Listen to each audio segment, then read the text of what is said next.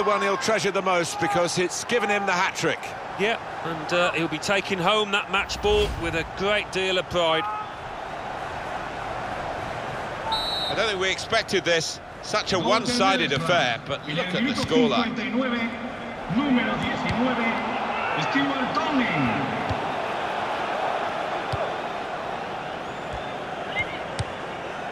Ben Arfa.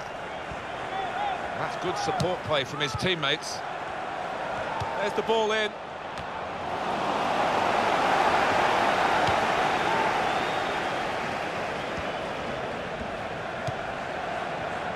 Downing.